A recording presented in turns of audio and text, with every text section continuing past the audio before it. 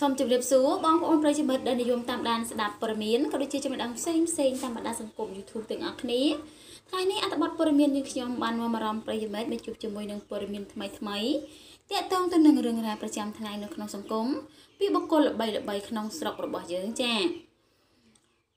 មួយបទនេះរបស់លោកខេមរៈសេរីមុនពីរោះរំដំចាត់ធ្វើឲ្យអ្នកគាំទ្ររំជួលចិត្តគ្រប់គ្នា ដើម្បីឲ្យជ្រាបកាន់តែច្បាស់អំពីអត្ថបទព័ត៌មានតកតងទៅនឹងរឿងរ៉ាវរបស់លោកខេមរៈសេរីមុនបទចម្រៀងថ្មីមួយបទរបស់លោកតើមានចំណងជើងអ្វីបានជាធ្វើឲ្យបណ្ដាញអ្នកគាំទ្ររបស់លោកគ្រប់គ្នាមិនសរសើរមិនបាន ថាបទចម្រៀងមួយបទនេះពិតជាត្រូវចិត្តខ្លាំងណាស់នោះសូមប្រិយមិត្តកុំភ្លេចណា ក្នុងការចុច Subscribe និង Like ឲ្យ Channel យើងខ្ញុំ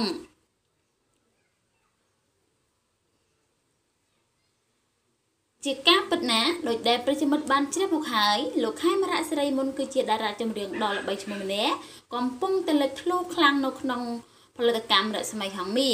ហើយក៏បានធ្វើឲ្យ friend friend ជាច្រើនពេញចិត្តអត់ប្រែនៅបទចម្រៀងជាច្រើនរបស់តារារូបនេះដែលចេញជាហូហែមិនដែលដាច់ឡើយជាមួយនឹង style សំឡេងគួរឲ្យតាក់ទាញដោយឡែក ចំណែកនៅព្រឹកនេះវិញនាថ្ងៃទី2ខែមករាឆ្នាំ2021ខាងផលិតកម្មអ្នកស្មីហងមាបានបញ្ចេញបទចម្រៀងមួយបទទៀតហើយសម្រាប់លោកខេមប៊ុនថៃហៅខេមរៈសេរីមុន ក្រុមចំណងជើងថាជ្រុលបែកឆាយឈប់រំលឹកឈ្មោះជាក់ស្ដែងបទនេះក៏ជាការនិពន្ធទំនុកច្រៀងដោយលោកស៊ីនធារី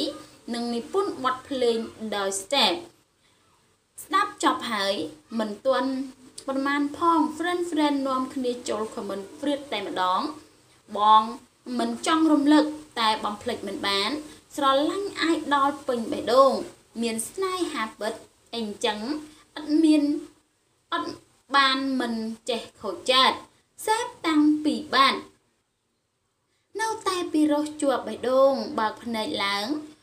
ឆ្លោះគ្នាហ្មងហេតុអីទៅ ចាហេតុអ្វីទៅរំលឹកហេតុអ្វីទៅគិតចាក់ដោតណាស់បងបត់នេះត្រូវគ្រប់រឿងទោះគេសុំទោព្រមទាំងនៅមានពាក្យខមមិនជាច្រើនទៀតដែលបង្ហាញពីការពេញចិត្តទៅបទចម្រៀងមួយបទនេះហើយក៏មានអ្នកខ្លះទៀតបានបញ្ចេញអារម្មណ៍យ៉ាងចាដែលធ្លាប់ខូចចិត្តរឿងស្នេហាផងដែរ ដើម្បីឲ្យជ្រាបកាន់តែច្បាស់នោះសូមប្រិយមិត្តតាមដានទស្សនាទាំងអស់គ្នា